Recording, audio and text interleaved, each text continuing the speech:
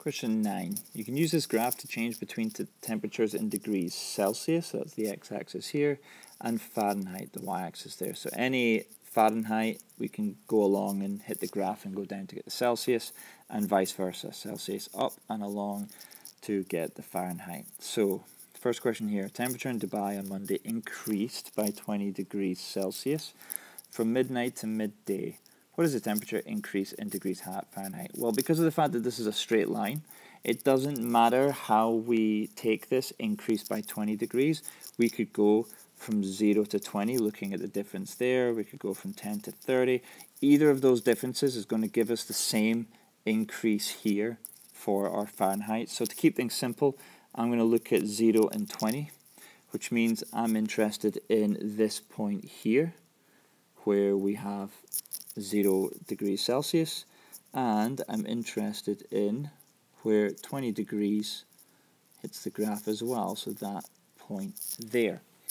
So that's 0 and 20 degrees Celsius from this axis here. Now if we want to see what that changes in Fahrenheit, then we've got to read this number here.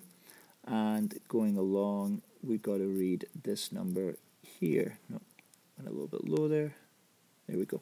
So the number that we have here, first of all, the small squares, all those tiny squares are each worth 2. There are 10 of them between 10 and 20, so each one is 2. And these sort of, this sort of darker one every 30, sorry, every um, every 5 squares is uh, 10. So this here is 30, which means the little one above it is going to be 32. And here we are 4 mini squares above 60, so we're 4 twos above 60 for 68, which means the difference in temperature as far as Fahrenheit goes, we take 32 away from 30 from 68, which is going to give us 36 degrees Fahrenheit. So 36 degrees Fahrenheit, that change is the same as a 20 degree Celsius change. Next part, Meninder, sa Meninder says 30 degrees Celsius is the same as 86 degrees Fahrenheit.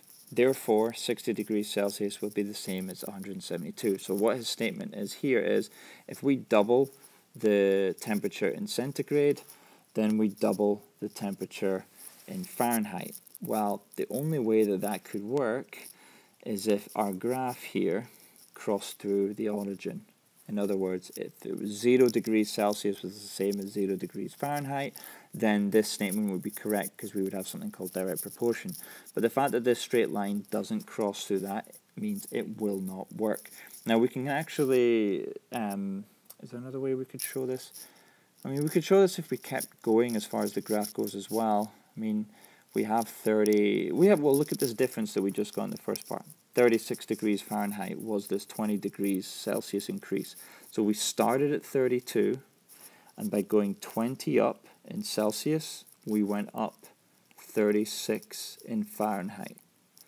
So if that was from 0 to 20, 20 to 40 would be the same thing. We would go up another 36.